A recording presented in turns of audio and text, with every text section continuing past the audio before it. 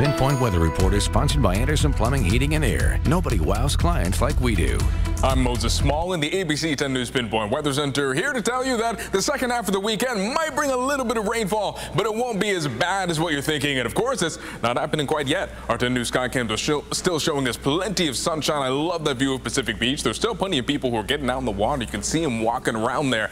And as far as the temperatures go right now, really not much to complain about. San Diego is sitting right now at 66 degrees. La Jolla 63 right along with Carlsbad. Many of our inland neighborhoods are still right near that 70 degree mark. So Poway 70 on the dot. El Cajon's at 72 while Escondido right now is at 71 degrees. Now overnight along the coastline, as usual for this time of year, we're going to pick up a little bit of cloud coverage, a little bit of patchy fog, especially along the coastline, but we're not going to get all that cold. We're going to go down into those upper 50s for San Diego. Notice that we're at 60 degrees by midnight for our inland neighborhoods. They're of course going to see a bigger temperature decline, but even they are not going to be terribly cold. Their overnight lows will bring them into those mid to upper 50s. And that brings us to tomorrow, where we're going to get more nice sunshine and more pretty nice temperatures. So if you're in San Diego, you're going to be right around 70 degrees, going to see plenty of sunshine with a little bit of cloud coverage mixed in. Our inland neighborhoods can expect more mid 70s on the way. Escondido with a high of 74,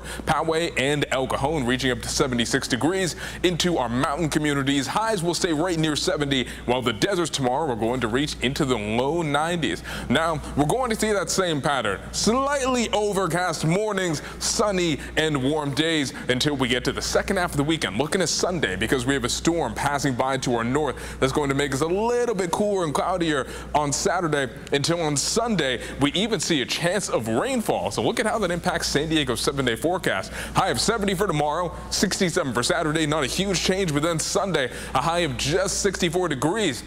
And we're not expecting a whole lot of rain, but we are looking at some light showers moving in late Saturday night and lingering throughout the morning on Sunday. We could see a tenth of an inch of rain on the high end, but that is expected to all clear out by Sunday afternoon. And then that system leaves as quick as it came in. By Monday, we're sunny once again, and San Diego's highs are going to reach right back near 70 degrees.